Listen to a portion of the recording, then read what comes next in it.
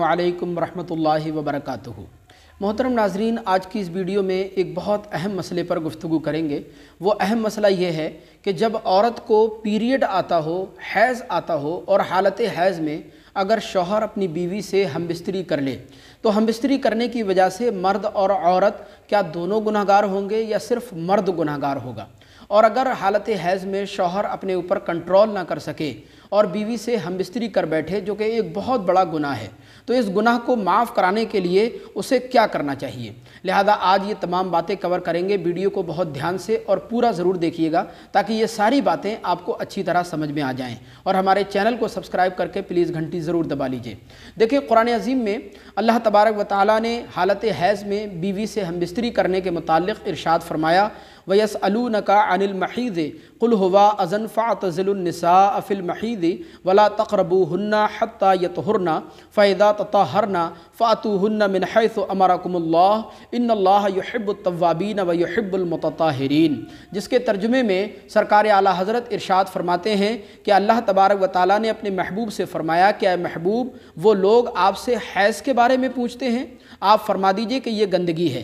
सो तुम हैज़ के दिनों में औरतों से किनारा कश रहा करो। जब तक कि वो पाक ना हो जाएँ, उनके करीब ना जाया करो। और जब वो खूब पाक हो जाएँ तो जिस रास्ते से अल्लाह ने तुम्हें इजाज़त दी है उनके पास जाया करो। बेशक अल्लाह पाक रहने वालों से और तौबा करने वालों से महब्बत फरमाता है। इस आयत करीमा की वजाहत हज़रत सैदना अनस रदी अल्लाह तु की उस रिवायत से होती है, जिसमें वो बयान करते हैं कि यहूदियों में जब किसी औरत को हैज़ आता था, पीरियड आता था तो वो लोग उस औरत के साथ ना खाना खाते थे, ना उसको अपने साथ खिलाते थे, ना उसके साथ रहते थे और ना उसको अपने साथ घर में रखते थे। लिहाजा चंद साहबा कराम ने हजूर की बारगाह में ये मसला पूछा तो हुजूर अक्रम अलैहि वसल्लम पर उस वक्त ये आयत मुबारक नाजिल फरमाई गई, जिसमें अल्लाह तबारक व ताली ने इरशाद फरमाया कि महबूब, वो लोग आपसे हैज़ के बारे में पूछते हैं, आप उनसे कह दीजिए कि ये गंदगी है, और गंदगी के दिनों में, हैज़ के दिनों में औरतों से अलहदा रहा करो। अब सवाल ये है कि अगर हालत हैज़ में शौहर बीवी से हम बिस्तरी कर ले तो क्या दोनों गुनाहगार होंगे या सिर्फ़ मर्द गुनाहगार होगा? तो देखिए, इसका जवाब यह है कि अगर वो हम बिस्तरी औरत की मर्ज़ी से की है फिर तो दोनों गुनाहगार होंगे। अगर शौहर ने अपनी मर्ज़ी से की है, औरत की मर्ज़ी उसमें शामिल नहीं थी तो सिर्फ़ मर्द गुनाहगार होगा, औरत गुनाहगार नहीं होगी। और दूसरी बात यह है कि अगर ये गुनाह हो जाए तो इस गुनाह को माफ़ कराने के लिए फिर क्या करना चाहिए? तो देखें ने लिखा है कि अगर ये गुनाह सरजद हो जाए, हालत हैज़ में अगर कोई शौहर अपनी बीवी से हम बिस्तरी कर बैठे तो इस गुनाह को माफ़ कराने के लिए सबसे पहले तो मियाँ बीवी दोनों अल्लाह की बारगाह में सच्चे दिल से तौबा करें। और आइंदा वो गुनाह ना करने का पुख्ता इरादा भी करें।